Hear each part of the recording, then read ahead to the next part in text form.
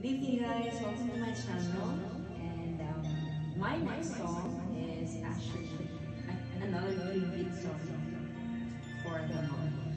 So um, this is the first song that she actually taught me when I was 13 years old and um, it's it's just very special and um, this is by Doris Day.